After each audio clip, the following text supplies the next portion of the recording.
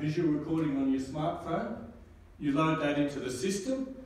It, the system automatically straps who you are from when you put it in. It takes the date, the location uh, from the, the photo. You're asked to make a suggestion from what you think it is.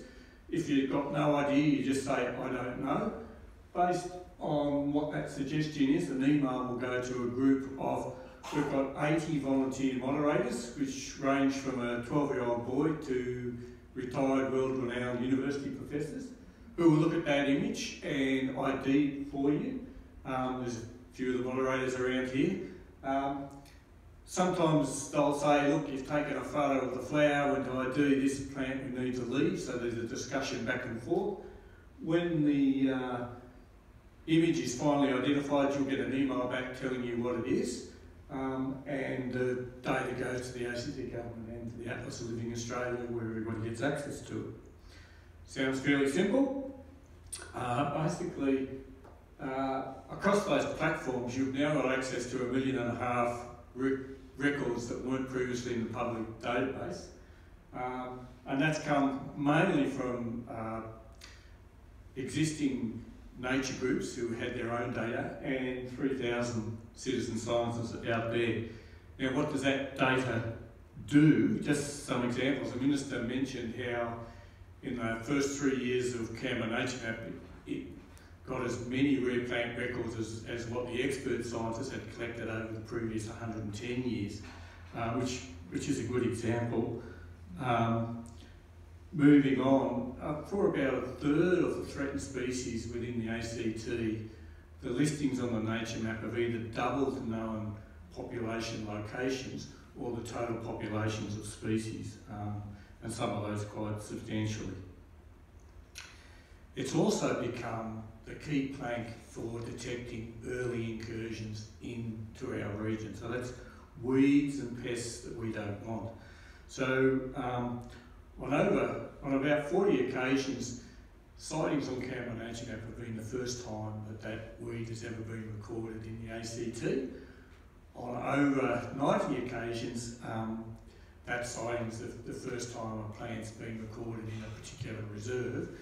And on over 200 occasions, either the person that's made the, the, the sighting or a team from the ACT government has been able to go out and control that species while it's still only in you know, one or two plants or a few and it's easily controlled rather than waiting until when it's out of control. So it's really effective uh, pest control measure for us. We also, um, this is from one of the sister sites, the Atlas of the Coastal Wilderness, we've been asked people to um, focus on particular species of interest and people have responded remarkably to those requests, so it's building up data that's particularly needed for management or research purposes. Um, mapping glossy black cockatoos is called across all those platforms. Um, and yeah, we've, we've got to know a lot more sites and breeding hollows that we didn't uh, previously know based on having thousands of eyes out there. This is, a, I really love this example because it explains how things can just happen when you don't actually plan for them, which has been the history of citizen science. Um, the top photo up there is of a butterfly, it's called the small ant blue. It was taken by citizen science, Christine Darwood. I can't say, oh, she is here. Well, well done. Um, now, she took that just over a year ago, and you might notice it's actually laying an egg. At the time, this butterfly, there hadn't been any known breeding sites for about a decade. So you can imagine the excitement of the butterfly people in seeing this. The, the guy who, Michael Braby, who, who's at CSIRO here, he hadn't even seen this butterfly and he spends his life researching butterflies. Um, it actually has a very complex relationship with the coconut ant, which because it smells like coconut oil when you squash it. The coconut, it basically lives in the, the nests of the coconut ant, which lives in fallen timber. And it has this sort of fresh stuff on the top, which is very easily identified. So we asked the citizen science out there on Nature Nature could they record the sites of the coconut ant? Um, and we got uh, 343 sightings from people out there.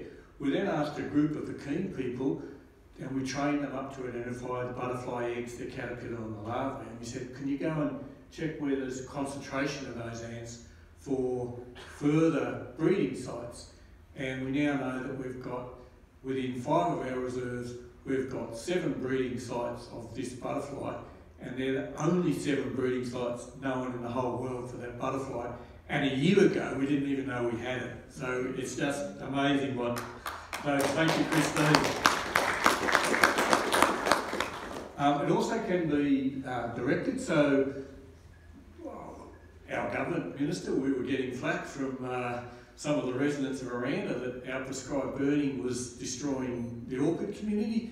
We didn't really have the data to say, no, you're wrong, or yes, you're right. So we said, well, let's work together. And we stratified the fire history by putting a little uh, star picket. We asked people to photograph every orchid within 50 metres of that star picket.